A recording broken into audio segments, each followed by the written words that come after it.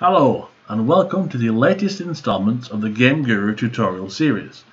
Today I would like to look at addressing the rock slide I mentioned a few videos ago that will stop players from returning to the castle once they've entered the forest. Now nothing like that currently exists as standard so we're going to have to create it ourselves in Blender which blends nicely into the topic of creating placeholder graphics to um, uh, take the place of something you're going to develop later, but you want to implement now just to get it in, to get the logic working, things of that nature. Um, so we're going to use Blender 2.8 or 2.81 I believe is the current latest version to create a rough landslide and then import it into Game Guru and then get it working so it triggers as soon as you enter the scene and then remains um, an obstacle. Now, how I'm going to do this, I'm going to create a 3D model of a, a cliffside and then have rocks tumble into the valley um, here to prevent the player from returning back into the castle scene. Now that will become visually clear once I start. Um, because I can't replicate the terrain I see here into Blender, I'm going to model actual cliff walls and a cliff floor. So when the rocks are falling into the crevasse, into the ravine, ravine, um, they will not intersect with the terrain. It will kind of go over the Game Guru terrain as an entity. So the first thing I want to do is go into Blender and then create a um, a rough shape that mirrors the valley here in the Game Guru. So I will do that now. Um, from the initial Blender screen, the first thing I tend to do is press the A key and then press the delete key. That gets rid of the camera, the light and the standard cube that you get in the start of a Blender scene. Uh, even though we may actually use a cube, and we will use a cube, it's just something I do um, just to get rid of everything in the scene so I can start from a pure clean slate because we don't need the camera or the light in a Game Guru export. Um, before I start, I do want to say that this is not, traditionally speaking, a Blender tutorial. It's the simple fact is I'm using Blender to create a model for Game Guru, so I will tend to go over the tools which I use at the time. But this will be a quick create and export and import.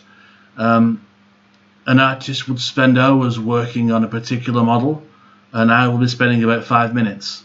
So I would encourage you, if you're following along, to spend those time to, to watch the tutorials on Blender, really build the skill up to create your own unique works of art. Um, this is simply illuminating the steps to take to get something from A to B and working inside Game Guru. Um, that being said, I'm going to create a cube and I'm going to be using several tools in the next few minutes. Um, one is a modifier called mirror. Um, the reason I use this is to create a symmetry in my model. Uh, because I'm creating a valley, um, it may be non-uniform when it's done, but the initial outline of it, the initial um, primitive shape is symmetrical. It's, um, it's a valley. So by clicking on the spanner icon on the right, you can add modifier and then select mirror from the generate um, section. Now this will create a line of symmetry through a particular axis and if you go into edit mode, select face, and pull out the side you want to work with. Um, well, something I should say here, if you press the G key, you will be able to move your selected face or polygon in a free-flowing way. If you then press the Y key, the X key, or the Z key, it locks it to that particular axis.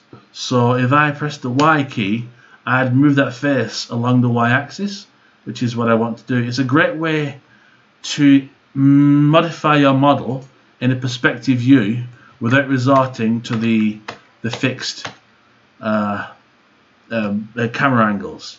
Uh, it's a good little trick to know that one. And then come back over here to the modifier menu and then I believe it's Y and you can see new geometry has appeared um, which has been mirrored from the cent the pivot point, the center point of this object on the Y axis. Now what that basically means is as I move this, that will move over there. Now as you can see something crazy is happening because the model extends over the mirrored plane so you get this kind of deformity here. This can be resolved by bisecting and then flipping. Now what that will do is any geometry going past the mirror will be dis will be um, not ignored, will be merged into the geometry coming from the other direction to create a line of symmetry on the middle, on the plane at the middle. So no matter what happens on that end, you will always have that plane of symmetry. Um, the grayed out portion here is showing what the model looks like before the modifier, which will not exist after the modifier is applied. Um, this makes more sense as you physically do it. Um, it's not so easy to understand when I'm explaining it, and I'm aware of how it all sounds. But if you just follow it through and have a go yourself, you'll see kind of how it works.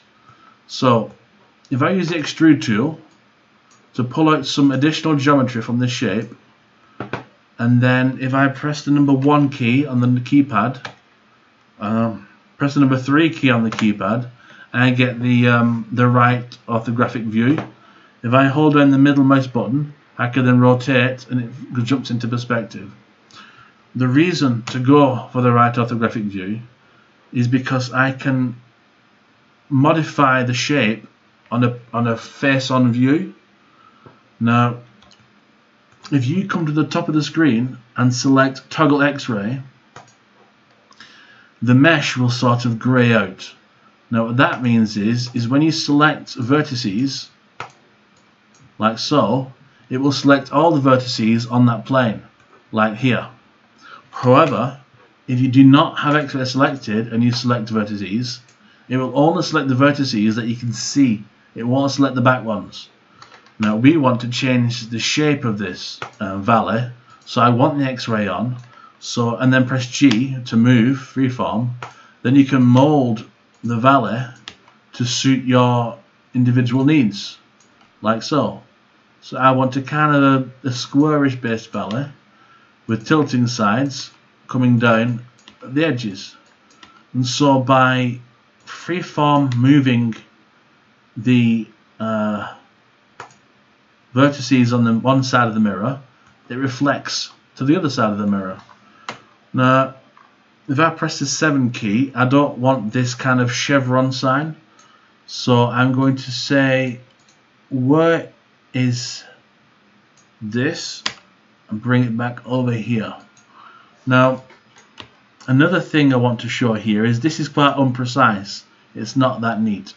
If you press N, you'll bring up the transform window, which shows you within many, many levels of decimal precision where a particular vertex is. And you can use this to align things exactly as you want them to. So this is the x-axis and I want this one to be minus 2 and it will jump to minus 2. How about I want that to be minus 2? So you can use this to kind of create a much more um, precise uh, model. Not so much required here because this is a very rough landscapey thing.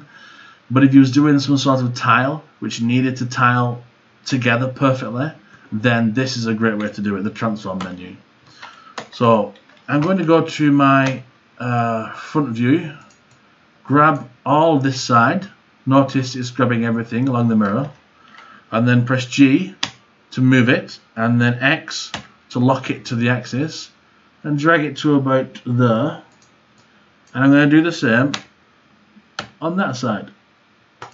And that creates to me a sort of valley. That's the kind of shape I'm looking for. At this point, I can turn off X-ray and apply the mirror modifier. Nope, nope, I have to come out of edit mode, go into object mode, and then apply the mirror modifier. Click. Okay? Now, all that's been committed, the line of symmetry is there. If you go into edit mode, you can see it's perfectly aligned to the center. The um, shape is roughly what I want it, and that is a good start. At this point now, I will save it um, and then start working on the rocks. And I will save it as rock fall 2. The other files are me playing around previous to recording this video. Um, come back into object mode and I'm going to create by shift and A a mesh icosphere, isosphere, a rough sphere. Press G to move it, uh, X, Z to drag it up a bit, and then it's S to scale it down a little bit. So let's say there. Now, what I'm going to do now is I'm going to create a physics simulation to have this rock falling into this valley. To do that, I'll need to set up a few things.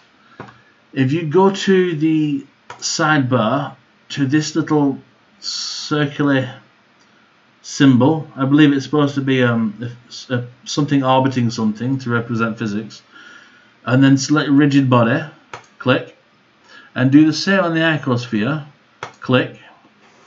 When you press play down here, it will activate a physics simulation. And if I'm not mistaken, everything will fall out of the screen. For example, and there they go. So we'll stop that, bring it back. Um, that's because everything resorting is um, everything's been affected by gravity.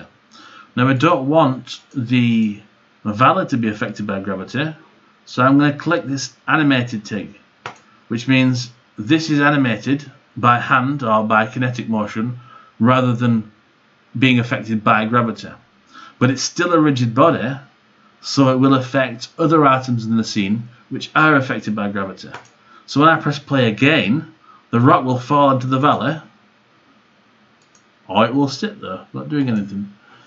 ah, go back to the beginning and then press play. Hmm.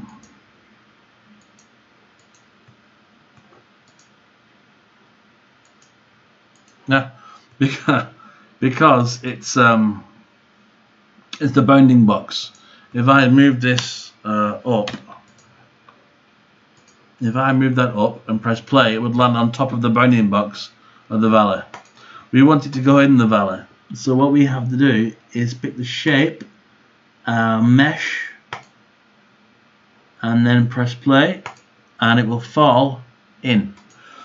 Um, the reason being uh, a mesh collision is more it will use the shape of the mesh to determine how it interacts with other objects in the scene. Whereas a simple box or sphere is quite simply a, it's a primitive. A mesh takes more processing and so it's not a default option but it's what we want here. So when you press play on the simulation the rock will fall into the valley and kind of not do anything. Now as far as landslides go, that's a bit lame. So if we copy this rock, um, sorry, by pressing Shift and D, and then dragging a few iterations around, and then using your camera to say, yep, they're not touching each other, they're still kind of over the rock, and then press play again, go to the beginning and press play, all the rocks will fall in, interacting with each other and the valley, and then roll off and roll off down. Now we want these rocks to stay in the valley because we want them to stop the player. So I'll press stop, go back to the beginning, and then create a new object. Uh, a cube should do. And then move it to the sides, shape it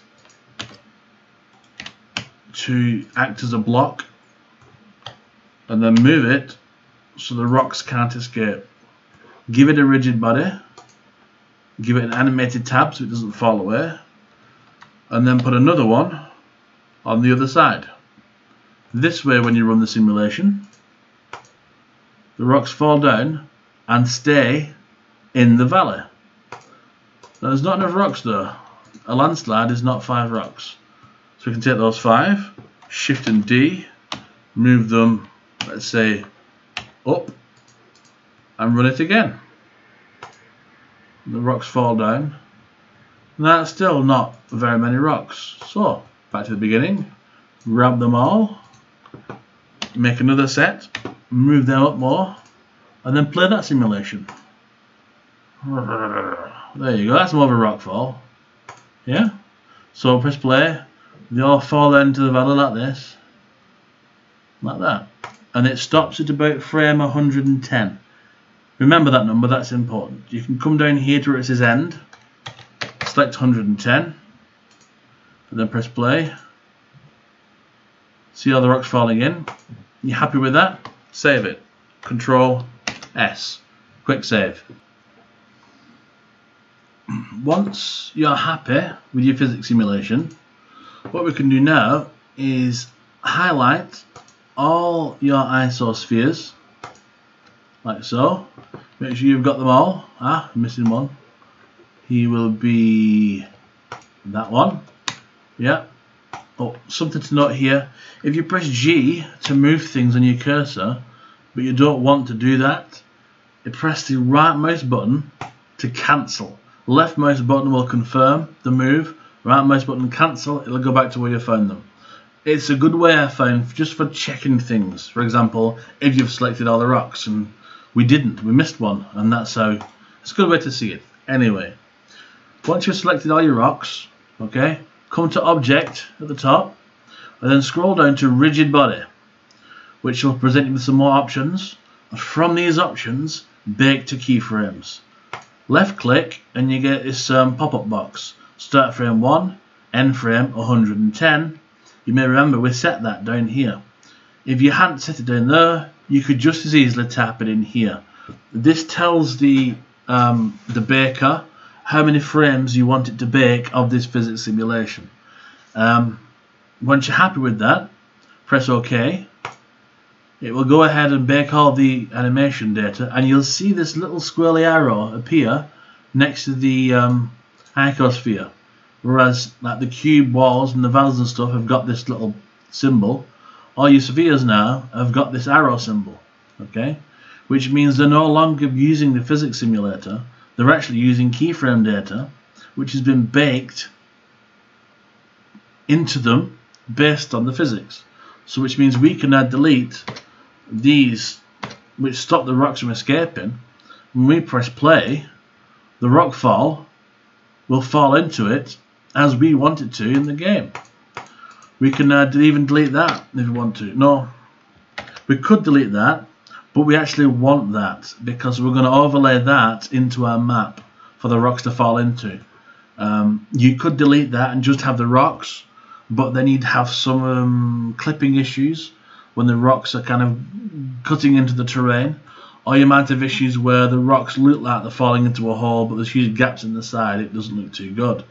If you spend enough time working on this, you could have a very nice rock kind of cliff model in your game, and it would kind of it'd work. It's all about how much time you put into it. Um, but once you've got rid of the props that you don't need or the gizmos, give it another save under a different name of save as and then I tend to um, rockfall2 underscore bake. Um, so if I ever needed to change the physics simulation, I can in the save file without the underscore bake. Um, once I've got this file now, I want to export it as an FBX. So file export FBX, it's a standard export format. And then over here on your options menu experimental applied transform. I'll tick that. Excuse me. Apply scalings FBX unit scale. I'll select that and down here under bake animation, if you click the arrow to expand the menu and turn these off. If you don't turn those off, it will export it in a weird way where each object is its own animation. It's a bit weird. I'm not sure. It, I suppose it's useful for things, but it's not useful for us right here. So once you've done that, export to FBX, it'll export the file, and then now we can go back into Game Guru. Now, before I go any further, I usually like to check the integrity of the FBX file to make sure everything's exported correctly. Now, there's several tools you can get for free which you can use to open up and look at FBX files um, very quickly, very easily. Um, Ultimate Unwrap being one of them, or 3D Viewer is another. Um, if you load up the FBX file in your, your tool of choice, you can see this is the FBX file and it's working exactly as I want it to. There's rocks falling from the sky, landing into the um, ravine and being a very effective obstruction. Now I know that this works fine, I can import it into Game Guru. So if we go to Game Guru and go to our forest scene as we um, as we remember it, I then select um, from the file menu at the top of the screen import model navigate to the folder where you've got your file, rockfall2 underscore bake.fbx, and then double click or single click and then open. It will then import and convert the FBX file into a DBO file ready for manipulation. Now, from previous videos, we know that this red guy here is a, a scale, a scalar model to see how big it is. And based on this it doesn't look very big. You can't see it because it doesn't have a texture. Now I have got a texture file which I downloaded from a texture resource and it's called uh, cliffs. Now if we look at that it's just a basic cliff texture and I'm just going to stick that straight onto the model. I've not unwrapped it. I've not taken any time to make it look nice. I just want to make it visible. So if I click the grey box up here, navigate to where my um, models are stored, select SJPEG and then select the image file, it will appear there. As you can see, it's not pretty, it's very tiny.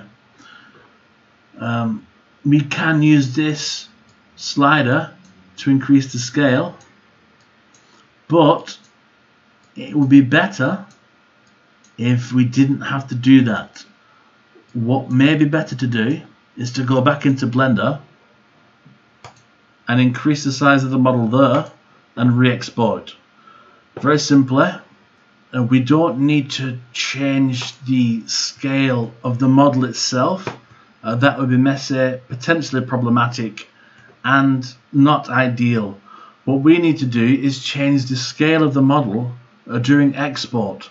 So if we go to File, Export as FBX, exactly as previously, except this time, where it says Scale 1, change it to scale um, 100, for example, and then export that, like so.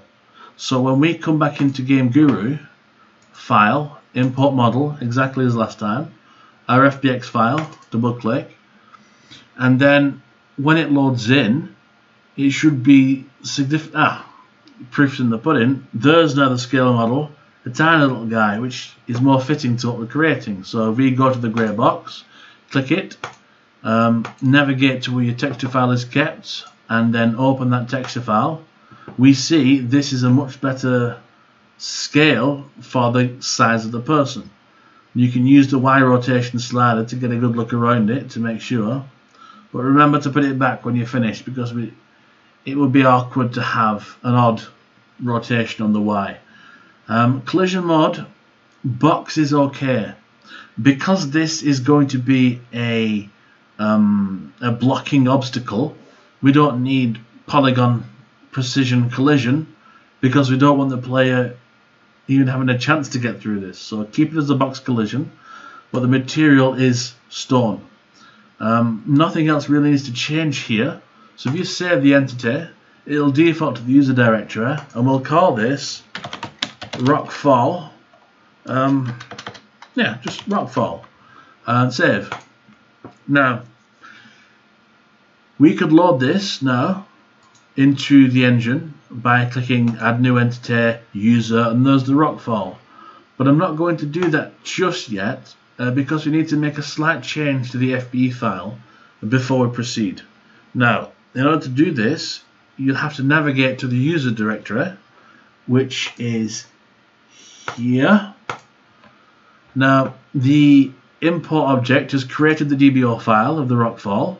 It's created the bitmap file, which is the thumbnail, it's created the FPE file, which is the data about the model, and it's also brought in the texture file that we assigned it in the import process. If we open Rockfall, we can see there's a texture file, there's the DBO file, there's the scale, a nice 100, because we changed the scale of the model in the art package, which is the correct way to do it. Um, but if you scroll down to the bottom, we have no animation data. That doesn't mean the FBX file doesn't contain animation because we know that it does because we've looked at it in a FBX viewer. What this means is we've not told Game Guru what the animations are. Now, we had 110 frames of animation in the Rockfall. Um, so what I like to do, just to make sure that everything's loaded correctly and it all works nicely is I'll make two copies, two references to that animation, maximum animation of 1, play animation editor 1. Okay, so all I've really done is I've told it where the animation starts and where the animation ends. I've assigned it to both animation 0 and 1 I've told it that the maximum animations it can have is 1 and I want it to play the animation in the editor window. Once I've done that I can save and exit the FBX file, come back to my Game Guru window, um, add new entity and now I will add the rock file. Um, click OK and there's my rock file. So I can rotate it and place it as standard. So let's say I place it here. Now already you can see we have some form of success. Now, as I stated previously at the beginning of this video, this is not a finished product. This is a placeholder. Um, a good entity like this uh, could take hours to do to get the nice cliff textures, to get it blending into the scenery and the, the, the scenes, blending to the floor.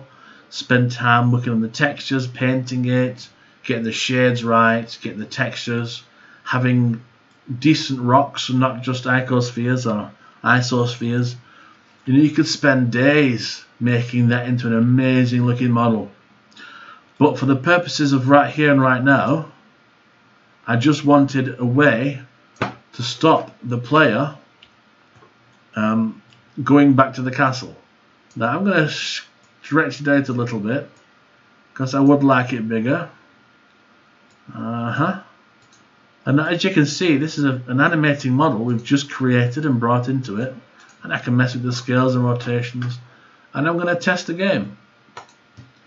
Now, this isn't finished uh, because what we need now is a script um, to be created, which will tell the model to play its animation once and then stop at frame 110. Um, otherwise, as you saw in the editor, it might work, it might not. It might keep looping the animation. It depends what script it's got as standard. Uh, but really, it needs its own script writing to tell it exactly what it needs to do. Otherwise, um, random things could crop up which uh, are not expected because, quite frankly, it's not being told what to do. It's, it's got default instructions. And as you saw in the editor, the animation um, just repeated over and over again because that's what it was told to do in its, in its script. It's animation 1, and as you see, and now we'll just watch this, yep, it just loops over. Now the collision will work because it's um, a box collision, we can't get in, we can't get past, we can't get through, but we don't want it looping like this. So this is enough content for one tutorial because this is quite a lot of things have been covered here and I don't want to overload with information. I just wanted to show you the process of getting an idea, building a rough model in Blender, bring it into GameGuru and having it seen. You can interact, so you can't get past now. You can only go forward. Now, the next video, we're going to look at the scripting side of this, where we will create a script for this unique event, which will maybe hold the animation at frame zero until we get close. So the player starts here and thinks, oh, I want to go back. And when the player gets close, it will play that animation, the rocks will fall, and then stop, so the player can't get back. Now, obviously if you're stood here and it's not animating they're just rocks levitating in the air but that doesn't matter this is just a placeholder if you was to do this in your final game you might have those rocks up on the side of the mountain like rocks perched on the edge. And as you came close they would then tumble down. That is up to the designer to do. This is just about how to do it. So I hope this tutorial has proven informative and hopefully some people will run off and have a go at this. Um, if there's any questions about anything that's been covered, leave a comment. I'll try and get to it. Um, until then, until the next tutorial when we cover scripts, I'm going to leave it there. Um, thanks very much for watching, and I will see you next time.